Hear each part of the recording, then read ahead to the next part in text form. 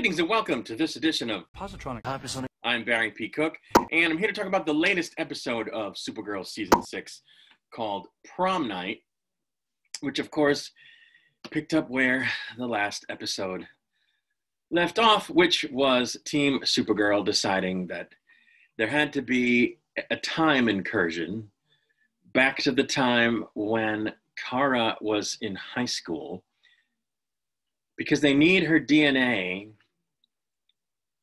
in order to trick one of the phantoms into tracking her so that they can find her and get her out of the phantom zone. Now, in my last review of a Supergirl episode where they came up with this crazy idea, I said, why don't they just go back to her apartment instead of going back in time and get her DNA off of a toothbrush or a mug or a hairbrush or her bed sheets like what why do they have to why do they have to go back in time?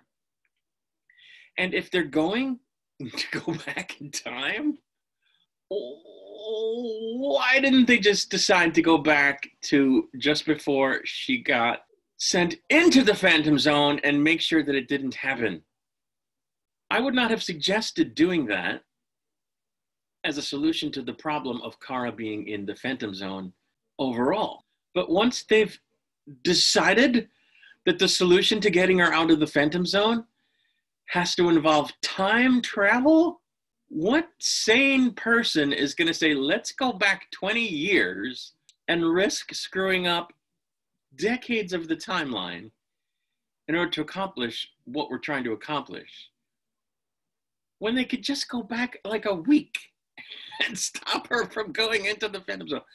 Like, okay, maybe there's a reason, but if they said what that reason is, I missed it. So they should either have done that instead of this or have said why they weren't doing that.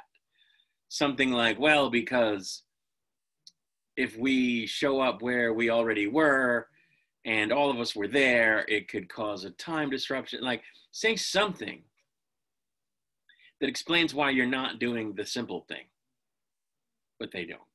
So this is like a really stupid plot.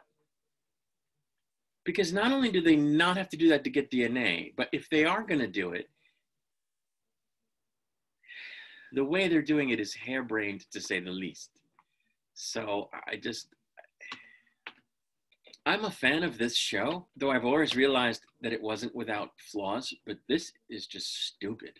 I don't know. I just was annoyed from the beginning with the premise, uh, you know, the premise of this episode. Now, they say that they're going back in time to this particular moment to get her DNA because they know there will be DNA because she did something super heroic when a meteor crashed down. They're calling it a meteor. And at the same time, somehow hurt Kara. Now, how did that happen unless it was kryptonite? I know that various villains have been able to hold their own against Kara in a fight, but like hurt her? That's not supposed to happen unless kryptonite is present. So uh, that bothered me. One good thing about the episode and this plot was it was interesting to see the other actors playing Kara and Alex for an extended period of time. Before we've only seen them in brief flashbacks, if I remember correctly. So it was interesting just from a standpoint of someone who is a fan of the craft of acting, which I am. I thought they did a good job. The person that did a really good job, though, was the woman that they cast to play a younger cat, the younger version of Calista Flockhart's character. She did a really good job portraying the character in a way that it was reminiscent of Calista Flockhart's performance. So I thought that was really good. At one point, it came up that they needed a 3D printer, Team Flash and Team Flash, Team Supergirl, which in this episode was really only consisting of Brainy and Nia, alongside obviously Kara, Alex, and this other guy who I think his name was Kenny. They realized they need a 3D printer. So the guy Kenny says to Brainy, Oh, well, why don't you just Dumbledore something up? And I thought that was funny. So I wrote that down. There's a scene in the episode where some aliens that are trying to kidnap Kara because she's Kryptonian in the in the past have set a gasoline truck on the road at a high rate of speed with no driver. I guess to sort of draw her out. And it works because Kara, alongside Nia, go ahead and endeavor to stop the truck, and they get behind the wheel. Kara does anyway, and Nia's in the passenger seat.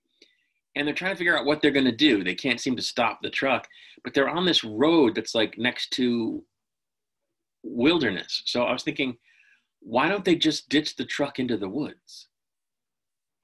Like, just crash it into a tree obviously Dreamer would ha- Dreamer would have to get out of the truck, Nia, but they could have crashed it into a tree, and Kara could just have put out any fire that resulted from any explosion immediately. Why did they risk keeping it on the road, especially after they see a stalled school bus in the middle of the road? I just didn't understand that. So, inevitably, uh, towards the end of this episode, Brainiac realizes that they have, in fact, changed the timeline by going back in time so far. Not that they wouldn't have changed it if they went back a week, but there's a big difference between changing, you know, the path of the future for a week and changing it for 20 years, although you never know what change you make in the past, even if it's only a week in the past, could do to the history what would be history after that week has again passed. But at least then, no one who experienced that week would be aware of it. So it, it, this is why I don't understand what they were thinking, because there's no way they were going to not change the timeline. And when they got to the end of the episode, it became obvious that this whole time travel thing is a two parter. These shenanigans are going to continue next week. Uh, I just hope they get her out of the Phantom Zone at the end of the next episode and they can move on and stop doing this dumb stuff. And stop doing this whole thing about we got to get her out, we got to get her out, we got to get her out because it's just really boring. Like, can we see Supergirl being Supergirl? That would be good. The show is called Supergirl. It's been like four weeks. So I don't know. That, that's really all I had to say about this episode. I, there's nothing else to really say. I mean, the actors do a great job in their parts. That's nothing new, but it's. I'll be back with a review of the next episode. Until then, my friends, peace and long life.